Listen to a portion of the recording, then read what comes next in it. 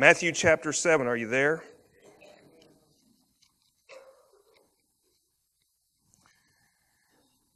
I enjoyed everything about trunk or treat, but I didn't enjoy the last slide. I don't know who put that slide together, but it had my hand, not in the candy jar, but in the, well, it was a candy jar, right? had my hand in there, so it was like, I'm guilty. There was evidence there. I mean, I wish they would have got a picture, Phil, of me passing out candy to kids. But, um, you know, God does want us to laugh. There are going to be times that we're going to cry. Um, and I'm reminded of this. We are to be there and we're to rejoice when others rejoice. Body of Christ. We're to rejoice when others rejoice, but we're to weep when others weep.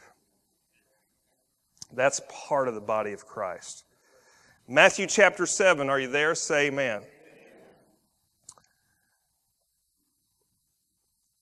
We're going to close this this morning with this series that I started several several weeks ago.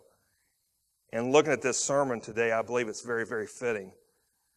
We look back at just uh, last week, and he talks about two ways.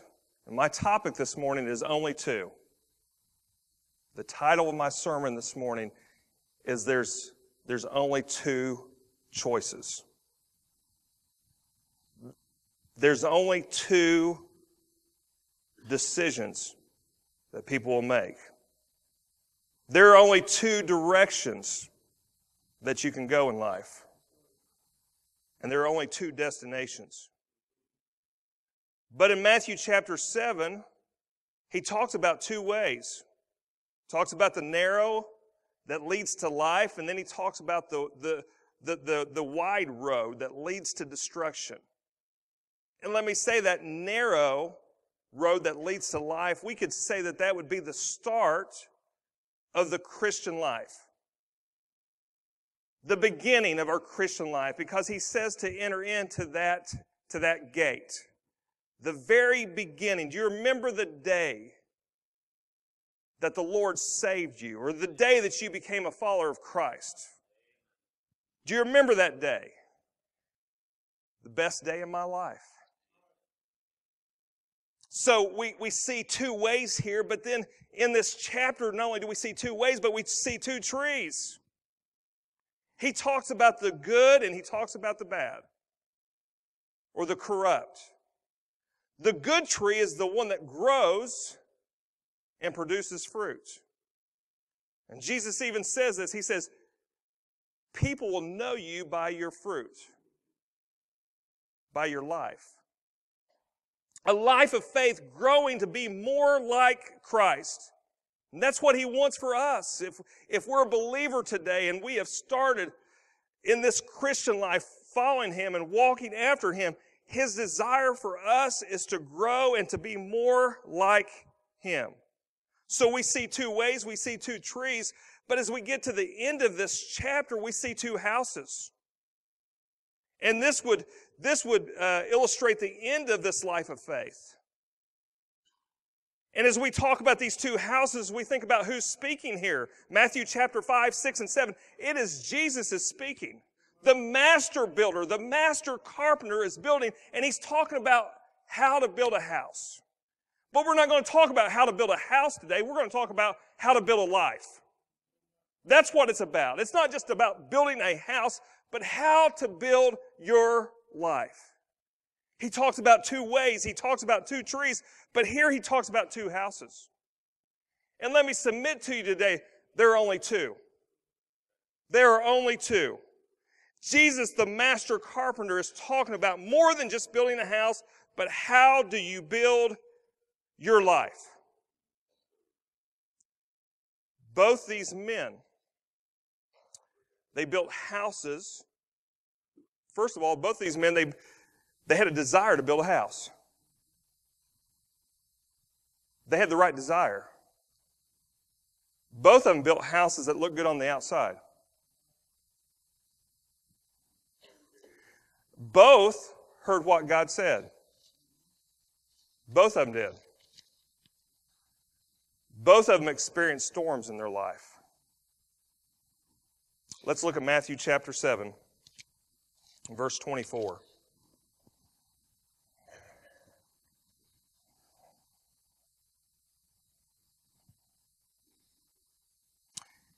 If you're there this morning, can I hear a hearty amen?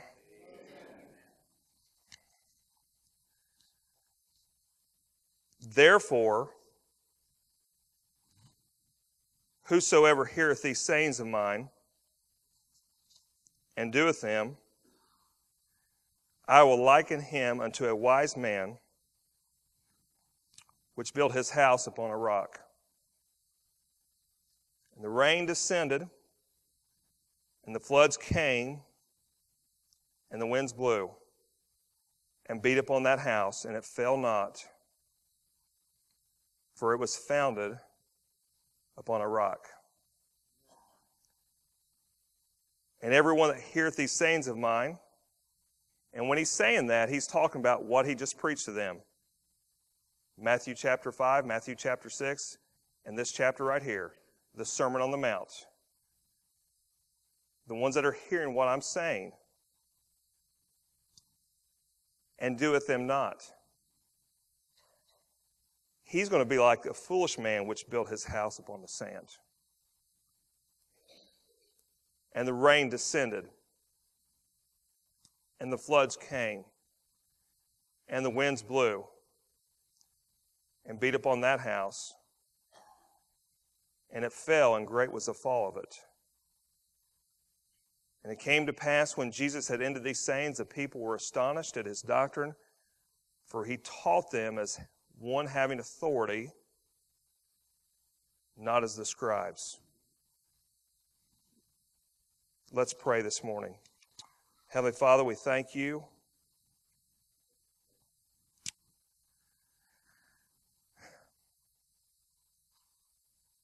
God, we want to thank you for your words.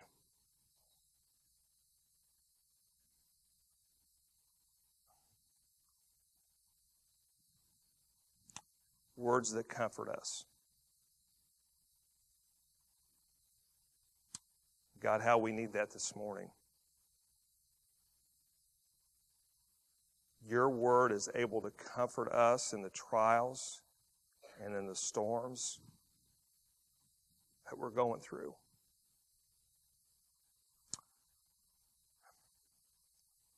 God, I ask that you'll do that this morning. That you will comfort those that need to be comforted. But we not only know that your word's able to comfort us, but it's able to convict, it's able to afflict us. And conviction is, is something that's good, God. Conviction tells us that we're on the wrong road and we need to change. Conviction tells us that the life that we're building is on the wrong foundation, God. God, we are thankful for your conviction today also.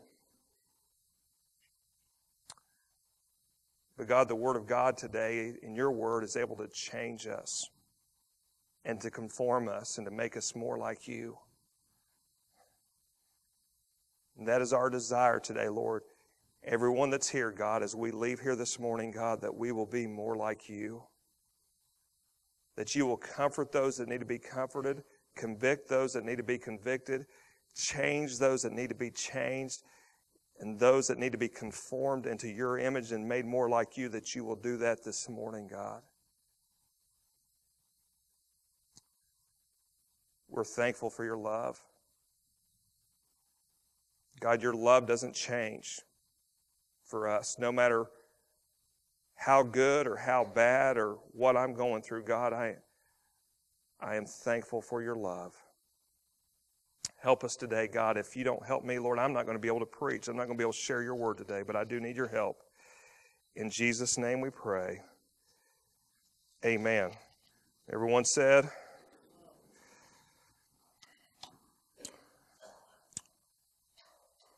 two ways, two trees, and two houses. And I want you to notice what it says in verse 24 again. It talks about the, the man that's going to build his house. What a challenge for us today as men. God has called us to be leaders and to build our spiritual house with the right foundation. He has called us to do that. But it talks about the two different builders, the, the man that was, that was very wise, the one that was following the Lord, the one that was pursuing the Lord, that built upon the right foundation, and the one that God says, Jesus says, was foolish because he built his house not upon a rock, but he built his house upon the sand. And I want you to notice what happens here. Storms are going to come.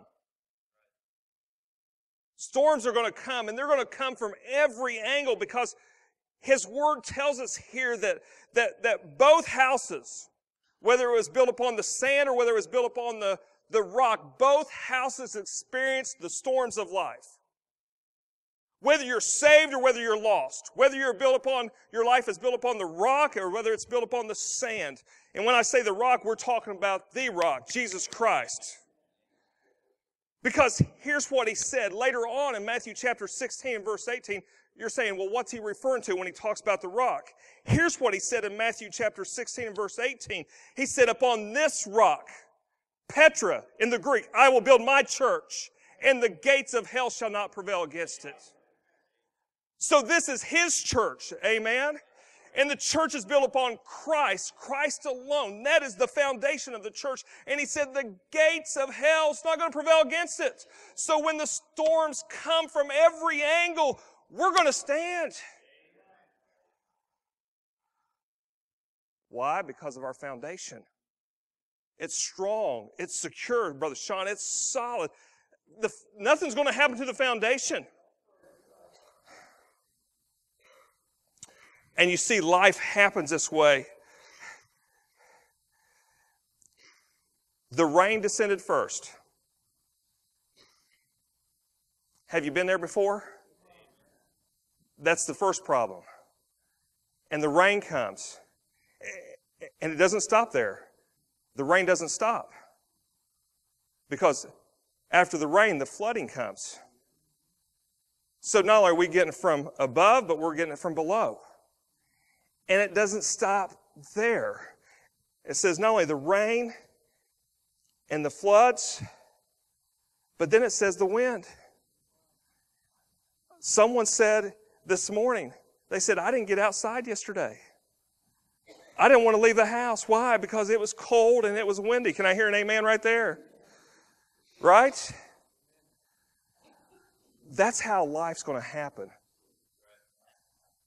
The storms are going to come the rain, the floods, and the wind. But the man that was building his house, his spiritual life, on the right foundation, here's what happened.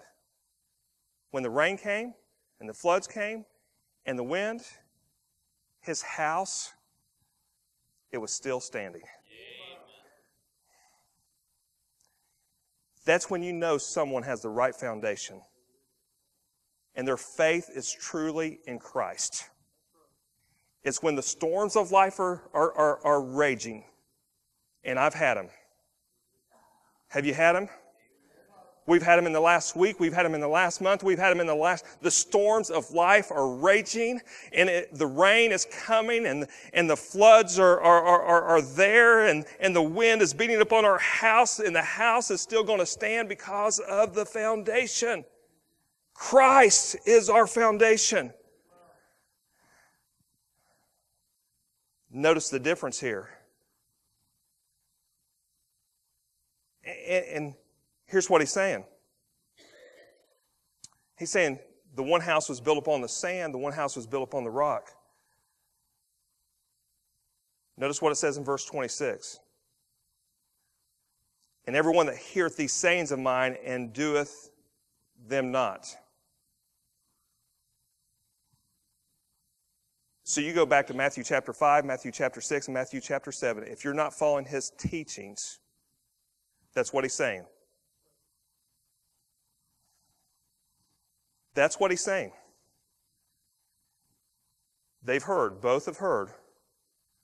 One is following, one is obeying, one is pursuing Christ in his word, and one is not.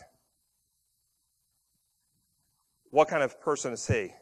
It says he's a foolish man, which built his house upon the sand. And the same storms, as I just mentioned, that, that will come to someone that's saved will come to someone that's not saved. I've been through them. Have you been through some storms?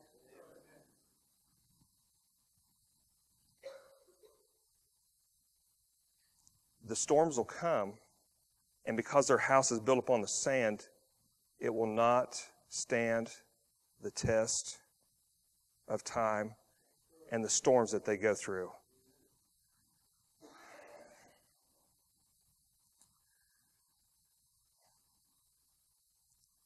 The difference is that Christ is he who is, is he the one that we're building our life on?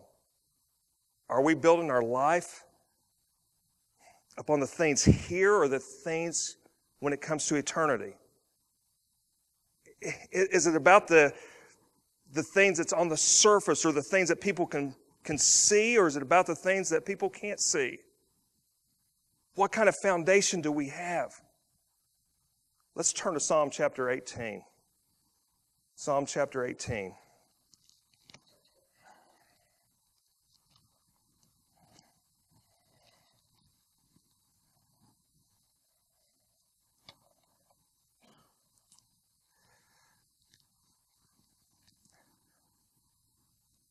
Christ is our rock. Secure, solid, sure. And that's what we're anchored to today. That's how we're going to that's how we're going to survive. That's how we're going to stand before him one day is because he is the one that we're putting our faith and trust in. But notice what the writer says here. Psalm chapter 18 verse 1. I will love thee, O Lord, my strength. The Lord is my, say it with me, the Lord is my rock and my fortress, my, my God, my strength in whom I will trust, my buckler and the horn of my salvation, and my high tower. I will call upon the Lord who is worthy to be praised. So shall I be saved from mine enemies.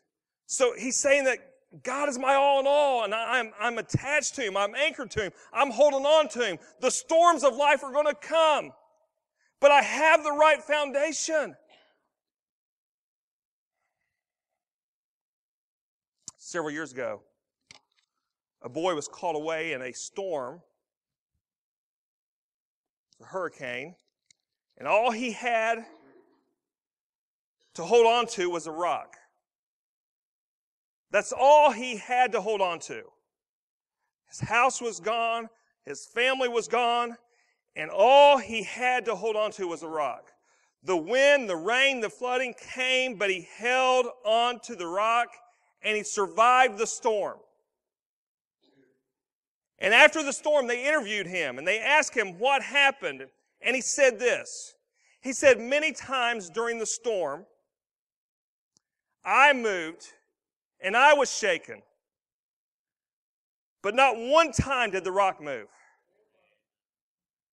Many times I moved and I was shaken, but not one time did the rock move.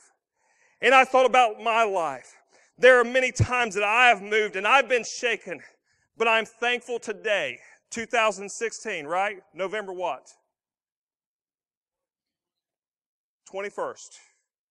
20th. I'm a day, okay. I'm a day behind or day early. But not one time has the rock moved. Not one time. Storms of life are going to come. But we have the right foundation. How do we know what foundation we're building on? How do you know? Pastor, I'm here today. How, how do you know that if I'm building on the sand or if I'm building on the rock, upon Christ? How do you know? You know He tells us in His Word? It doesn't matter what you say. We find that out from right here. Y'all listening? It doesn't matter what we say, because we can say, Lord, I've done this or I've done that. It doesn't matter what we say. God's the one that has the final say. God has the final say. So, how do we know which foundation we're building on? He tells us. He said, The person that does the things that I ask him to do, they're building on the right foundation. Don't take that up with me, take that up with God. If you're not in obedience to God and to His Word, according to Him, you are building on the wrong foundation. And I know it's quiet, but that's the truth. He said, The person that does the things that I've asked him to do, and our salvation is not about doing. It's not. It's about being. It's about being a follower of Christ. But you know what? To be a follower of Christ, you have to obey Him. Are you obedient to Him? Are you in complete obedience to Him? He's saying if you do these things, He's like a person that's building his house up on the rock. But if you don't do the things that I've told you to do, you're building on the sand. And then the storms are going to come, and the house that's built on the sand is not going to stand. But the house that's built upon the rock, upon Christ, our solid rock, our foundation, that house is going to stand. Obedience to his will is the test of true faith in Christ. Anything outside of obedience to his word, let me say this anything outside of obedience to his word is building on the wrong foundation. As we read this in Matthew, there's only two. We think about there's only two decisions. There's only two directions and there's only two destinations. And when the storms of life come, and they will, and I believe this is speaking of judgment, will you be able to stand? Will you be able to stand when judgment comes? An evangelist was preaching a meeting there was a young lady there that she knew that she needed to accept Christ as her Savior. But she wasn't ready to commit her life to Christ. He was getting ready to leave the meeting. He was getting ready to get on a train and leave that town.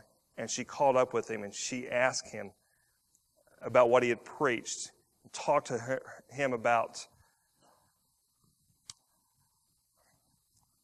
her predicament. She said, I'm just not ready to commit my life to Christ yet. And he explained to her, he said, You only have really two choices. Her name was Mary. And he said, Mary, he said, I'm going to write this down for you. He wrote down on a piece of paper, and he said, I, Mary, reject Christ as my personal Savior. He said, I want you to sign it. Would you be willing to sign this that you reject Christ as your Savior. Because you know what? He came to save each and every one of us. Would you be willing to sign? And she said, No, I can't sign that. And then he put on another piece of paper. He said, I, Mary, receive Christ as my personal Savior. Will you be willing to do that? She realized that she had to do one of them. If she didn't receive him, if she didn't receive him, she was rejecting him. Because you can't have it both ways. He's either Lord over all of our life or he's not Lord at all in our life. She took that paper and she says, I want to receive Christ as my personal Savior. I want to say yes to Jesus Christ. Where are you at today? Where are you at today? You can't have it both ways. What are you building your life on today? If you're building your life on the sand, it's going to come crumbling down. If you're building your life on things here in this earth, it's going to come crumbling down. Are you building your life upon Christ Jesus? When you do that, the storms will come, but I am thankful that we can stand through the storms of life.